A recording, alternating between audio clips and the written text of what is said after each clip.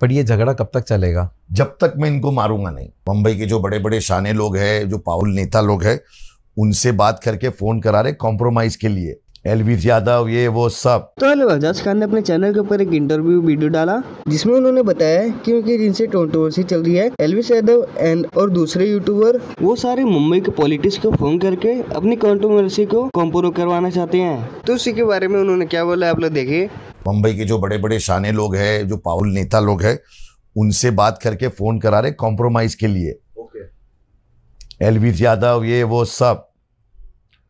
उनको म- तुम मुझे जानते नहीं हो क्या? मैं जानता हूँ मगर पब्लिक जो आपको देख रही है। कैसे कैसे लोग घूमते? वो पूरब जा बच गया।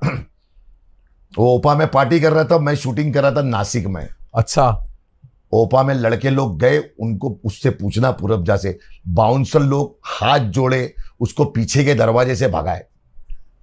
उसको Oh बोले कि आप निकल जाइए। पर ये झगड़ा कब तक चलेगा? जब तक मैं इनको मारूँगा नहीं। मतलब आप इन सबको मारेंगे? सबको मारेंगे हम। अब उन लोगों को मारेंगे जो आपके खिलाफ जो मेरे खिलाफ। बाकी यूट्यूबर से मेरा कोई लेना देना नहीं है। जो जो मुझे नहीं जानते हैं और ज़बरदस्ती मेरा नाम लिए है वो सबको मारूँगा मैं।